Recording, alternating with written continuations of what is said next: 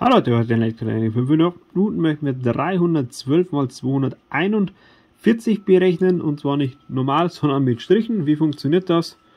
Ja, 3, 1, 2, das heißt drei Striche. 1, 2, 3, dann einen Strich und dann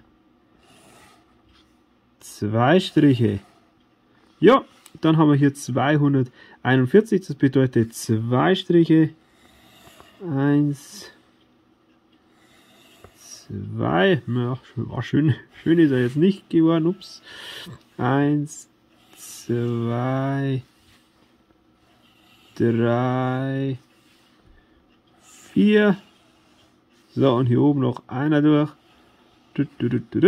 So. So, haben wir jetzt. Jetzt müssen wir hier zählen. 1, 2, 3, 4, 5, 6. Macht Handy 6. Dann, jetzt wird es kniffliger.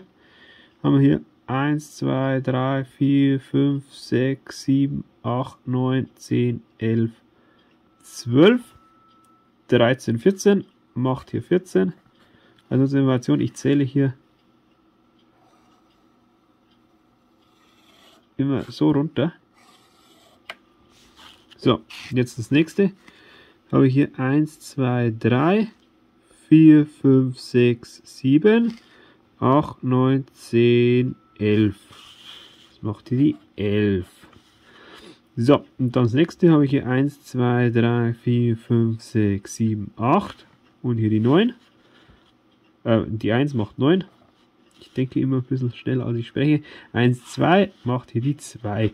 So, jetzt knifflig. Wie geht das jetzt hier zusammen? Und zwar, jetzt muss man hier sozusagen so Pärchen bilden. Einmal so.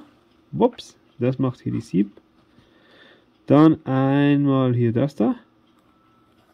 Die 1 und die 4. Ups, das macht hier die 5. Dann bleibt hier die 1 stehen. Hier bleibt die 9 stehen und hier die 2. Also die Pärchen muss ich nur bilden, wenn ich sozusagen hier äh, ja, zweistellig bin.